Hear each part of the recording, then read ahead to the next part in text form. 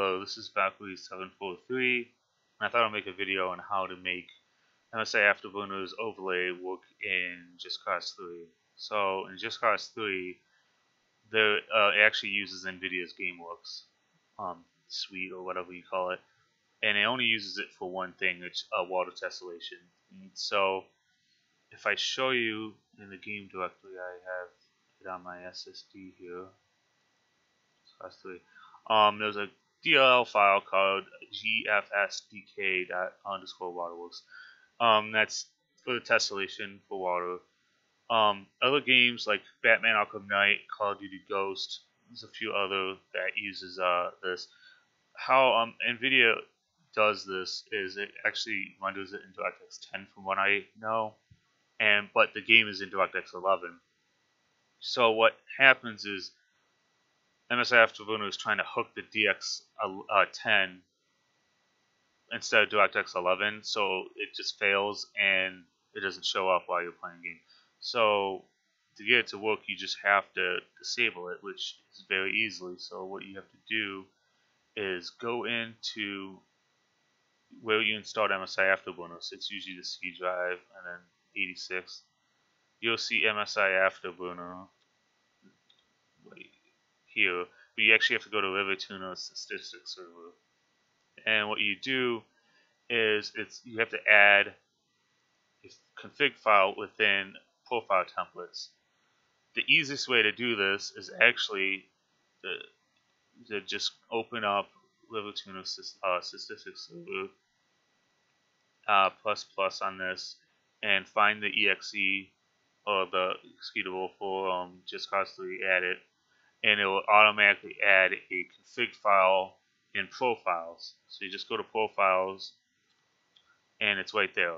And if you open it, it's all this stuff right here. Um, we're going to delete that actually, but you do just do is copy and copy and then paste it in here. And when you paste it in here, you want to delete everything and add this line of code.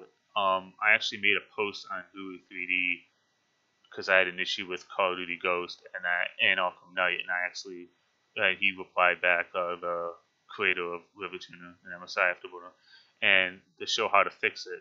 So all you do is add this line of code, this window direct 3D10 enable 0. So I'll leave this link and this code in the description. But basically, all you have to do is add that, Control S, or file save.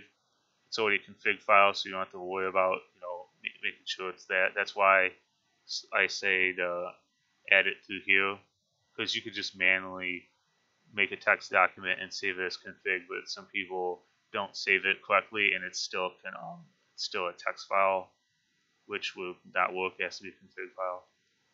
But yep, once you do that, just exit out all this. I'll launch just cause 3 here and it will work. Uh, just note that um, how MS, uh, MSI Afterburner works is it delays the hooking, so it doesn't conflict with uh, Steam and Origin overlays. So just give it a second, and there you go, it pops up. So it's working perfectly fine, and that's how you get to work in Just Cause 3. Um, not sure on AMD users if this even matters on AMD users. I don't know if that tessellation setting is enabled for each uh, AMD users. Uh, either way, this will work for both AMD and NVIDIA.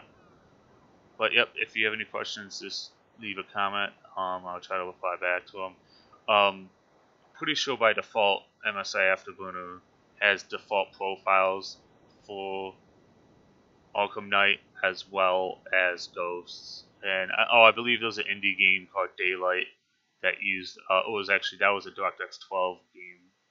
No, was it 12? Yeah, it was one of the. No, it wasn't DirectX 12. It was first game to use Unreal Engine 4, and it also had GameWorks uh, in it as well. So, but yeah, if you have any questions, just leave a comment. Alright, thanks.